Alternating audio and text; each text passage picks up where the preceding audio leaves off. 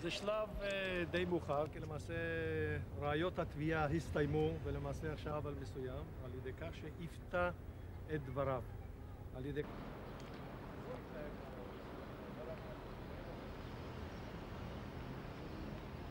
It was a contradiction between my conscience and my criminal uh, ability, so I said to him and to the judge that I cannot proceed with this uh, case in uh, such uh, terms.